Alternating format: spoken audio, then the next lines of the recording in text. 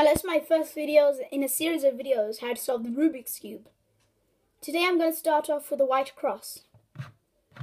In this video I'm aiming to show you how to create the white cross, which means the white cross and these two aligned with the correct colours. First of all, let's scramble the cube. I'll be I'll be showing you the longest method, but it is the most easiest. So don't worry if you, if it takes you long to solve because this is the most easiest. And if you're just a beginner, this will help a lot.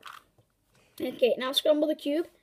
Uh, okay, now what you need to do is get all the the edge pieces to the yellow center.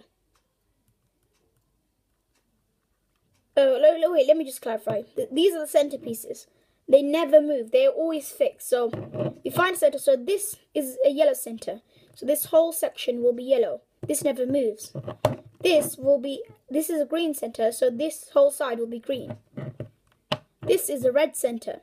So the whole side of this cube will be red. So what I do when I started off, I got all the edges into the yellow side, the white edges to the yellow. It's much easier.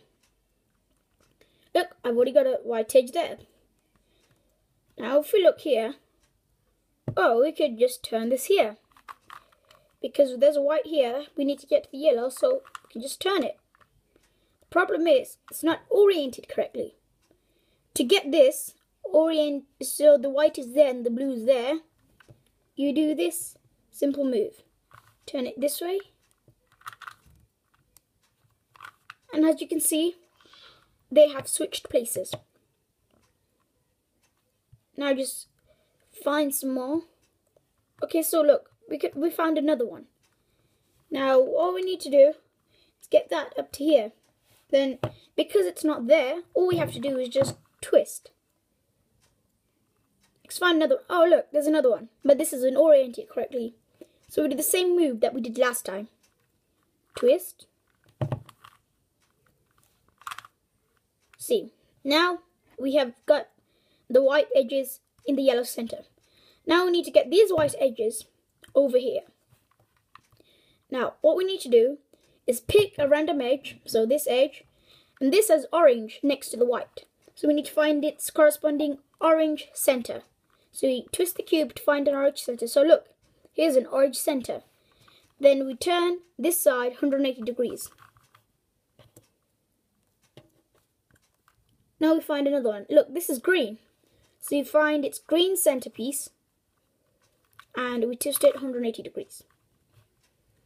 Now this is red. Find the red and twist it 180 degrees. Next look, this one is blue. Find its blue center counterpart and insert. Don't worry about these.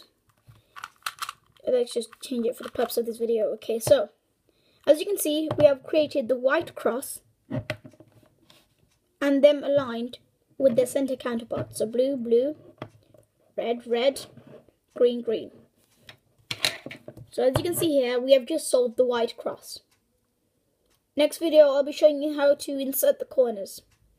Then we'll be moving on to the middle, then the top. We'll have two videos on the top because the top is a harder stage. The middle is pretty easy, easier than the top part. So yeah, thank you for watching. Next time, I'll be showing you how to insert the corners like this in the correct position. This is not the correct position. So thank you. If this video has helped, please like, leave a subscribe. Thank you.